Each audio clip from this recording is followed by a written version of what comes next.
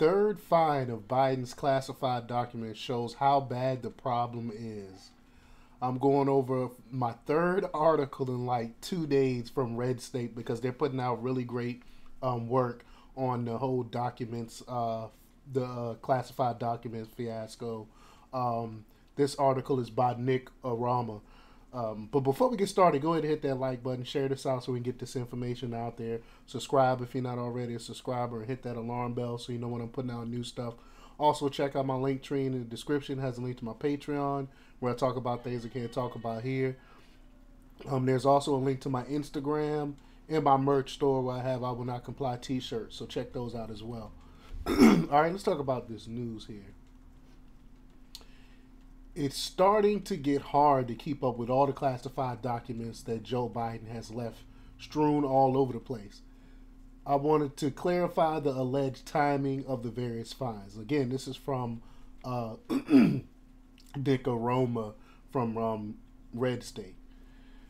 Uh, he noted, as we have already reported, there were there was the cache that was found at the Penn Biden Center locked in the closet by the personal attorney who just happened to be clearing out Biden's old office. Again, and I talked about this before.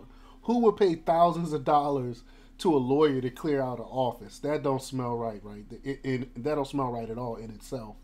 But then there were a second uh, set that we reported on earlier. I've reported on as well, of course, which was found in his garage near his Corvette.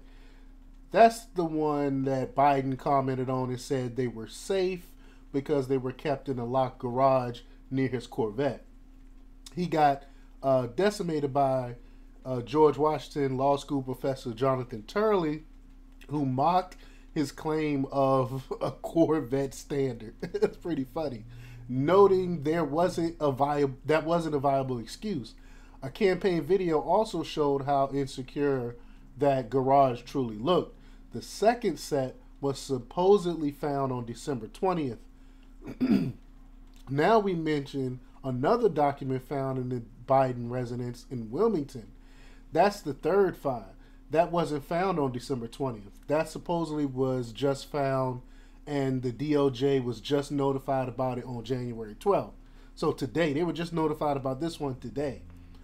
Um, Matt Viser tweeted out Merrick Garland with uh, clearest timeline on when where classified documents were found. November 2nd, Biden lawyers find a batch in D.C.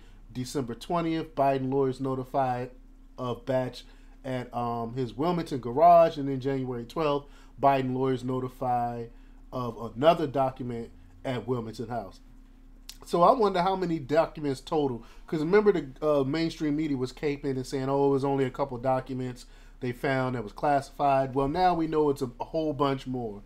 Um, um, Benny Johnson tweeted out um, this Fox News. Uh, DOJ confirms Fox News uh, to Fox News confirmed third discovery of classified documents mishandled by Joe Biden. So let's let's check this out real quick. Mm, here we go here. Jonathan, um, our team just got off the phone with a senior official at the Department of Justice uh, weighing in on this point um, that we appear to be able to confirm that that is correct, that a third discovery uh, was a single document.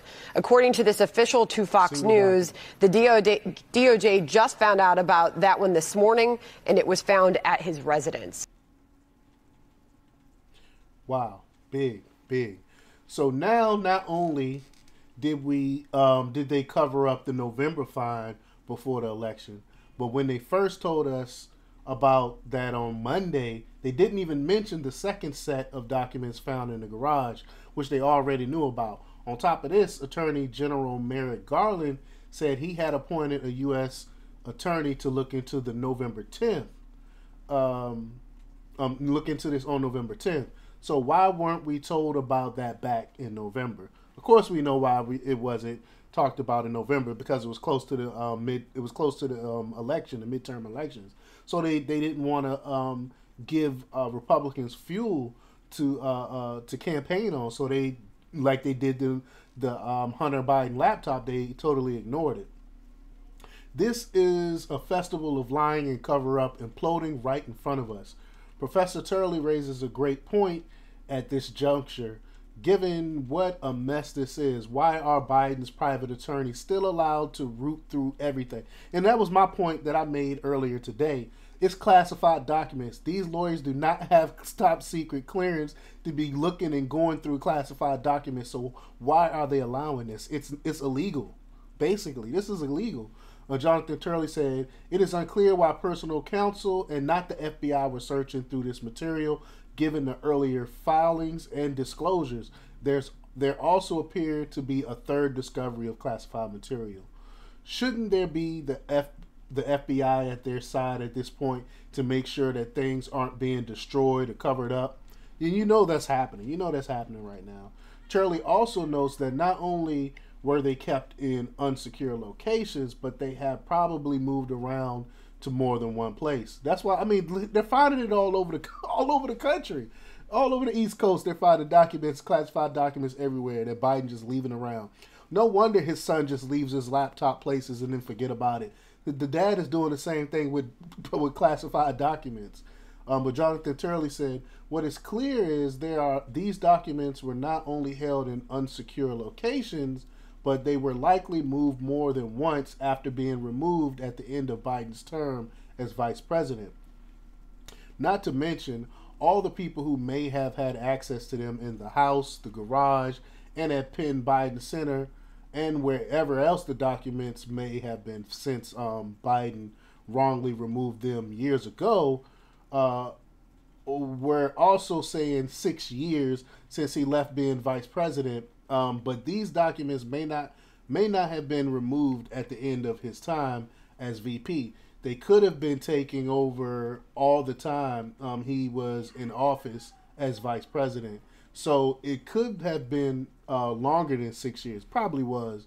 Talk about a mess. And again, I think he was using this as a way to. Uh, I think he was selling this, this, this, these classified documents. Why would you be moving these documents all around in the first place? He probably was selling them. That's why Penn State got all that money from the Chinese, and his um his um business his uh the Penn Biden Center got all these um anonymous donations from the Chinese government because he I believe he was doing the same thing Hillary Clinton was doing with her classified information and was selling it. And instead of him having a server like uh, Hillary Clinton had, where the people had to go in on the server and get this information. I think they had to go in physically to the Penn Biden Center and get this material. That's what I believe was really going on. But um, let me know what you think. Leave your comments down below. Like, share, and subscribe. And check out democrepublix.com for the latest in news. Until next time, peace.